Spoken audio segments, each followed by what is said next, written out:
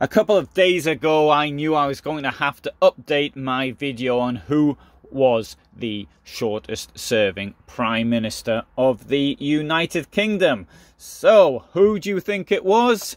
Well, I bet you're thinking it was George Canning, but guess what? I found somebody who was Prime Minister for even less time. And not only that, possibly one of the best prime ministers ever in British history. William Pulteney. He was the first Earl of Bath and he served as Prime Minister from the 10th of February 1746 until the 12th of February 1746. A total of 48 hours, 52 minutes and 11 seconds. Well, to be fair, he wasn't actually the Prime Minister as such, because it wasn't called that then. He was called the First Lord of the Treasury.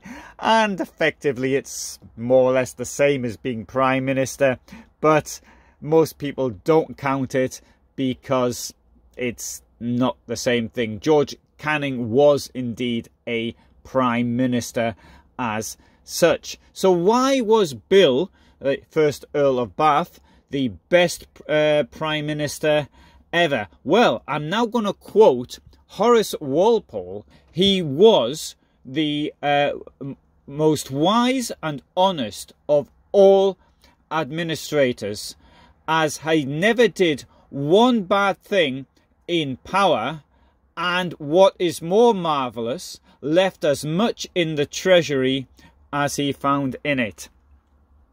I suppose logically Liz Truss is the shortest serving British Prime Minister. Well, we'll have to see because I don't know when I'm doing this when she'll be gone. It's now the 20th of October 2022 and she's been gone only a few minutes. Indeed, I'm thinking of maybe I'll just wait a couple of days to see how long the next one lasts so I won't have to do this video. Anyway, what do you think? Are you glad she's gone? Or do you think she did such a fantastic job she should have stayed? Well, write your comments below.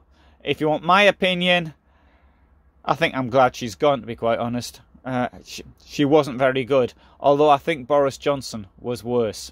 Anyway, that's my opinion. Thanks for being here.